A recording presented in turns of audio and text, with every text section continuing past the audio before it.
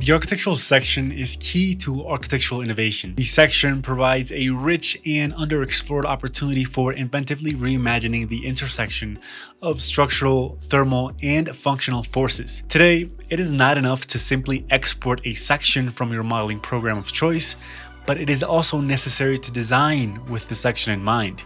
And when representing it, understand what type of section portrays the building at its best. Hey guys, I'm Steven, architect at Show It Better, and here we are dedicated to studying, practicing, and teaching architects all around the world the importance of representation.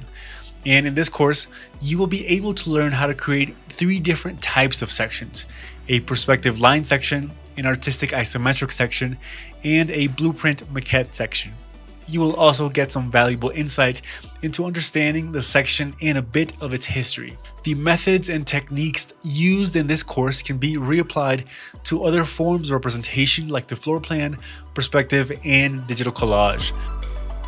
For this course, you will need SketchUp, AutoCAD, Photoshop, and most importantly, love for drawings. If you don't have that, then I am sure that by the end, you definitely will.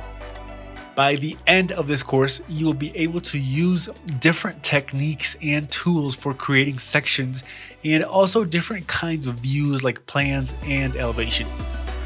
This course is directed to architects, architecture students, or creatives that are interested in leveling up their presentation game in order to communicate their architectural ideas much better. So if this sounds up your alley, then what are you waiting for? Join me and hundreds of creatives in this journey. I will see you in class. Bye.